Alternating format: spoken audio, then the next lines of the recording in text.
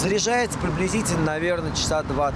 Опять зависит, ну, из полной зарядки, наверное, часа 2-3. Сам приобрел, это, собственно говоря, это звук э, Предупреждающий сигнал и фонарь для передвижения в темное время суток. За четыре года Андрей Кузнецов свой электросамокат практически не ремонтировал. Зарядил и поехал. При этом автомобиль у него тоже есть, но по пробкам до работы это, говорит, лучший вариант. До работы с работы, потом по городу по работе. Допустим, если нужно что-то купить такое вот, или там встретиться с кем-то, по большому счету, у меня к нему есть э, трос, я его прикрепляю где-то там на входе, и либо складываю беру с собой. Четвертый год я езжу, четвертый сезон.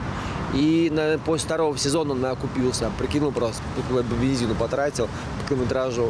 И он как бы вот уже в плюсе был. Андрей признается, самокат не самый безопасный транспорт. Его разгоняется до 25 километров в час. И этого считает более чем достаточно для города. Но у него есть права и опыт вождения, знание правил. Многие же пока передвигаются на самокатах без документов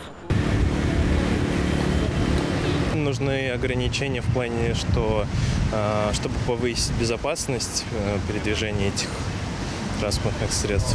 Да, по возможно. скорости или место выделено? Я думаю, по скорости. Ну, вообще 20 километров в час. Здесь пешеходная зона.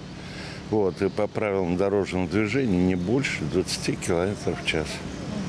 Носится? Да не то слово. Километров 40 как минимум. Меня это не пугает, меня это радует, что люди отдыхают, катаются. Ну, просто как бы скорость, да. Потому что я и сама водитель как бы знаю, что такое скорость. На всех прокатных самокатах есть ограничение скорости, но это не спасает от происшествий, потому что очень сложно предугадать действия впереди идущего человека или даже ребенка. Поэтому специалисты советуют прикататься, а главное изучить тормоз. Как отмечают специалисты, человек, катающийся на электросамокате в экстренной ситуации начинает тормозить ногами или спрыгивать на ходу. И это главная ошибка. У травматологов сейчас существует даже новое понятие – переломы, полученные при падении с высоты и на скорости. В этом году официально в Саратове ДТП не зафиксированы. В прошлом свыше 10. В заводском районе молодой человек даже погиб, залетев под бензовоз. Должны передвигаться по тротуарам, пешеходным дорожкам.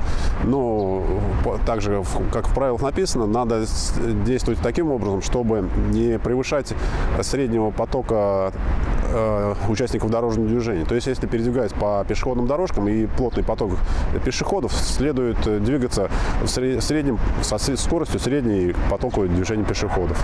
В ближайшее время планируют создать ГОС с требованиями к безопасности передвижения на электросамокатах, гироскутерах и моноколесах, в том числе ограничить такому транспорту скорость и предустанавливать на производстве систему спутникового слежения. Тормозить на пешеходных зонах она заставит всех автоматически. Екатерина Сулейманова, Роман Шельдяев, Саратов, 24.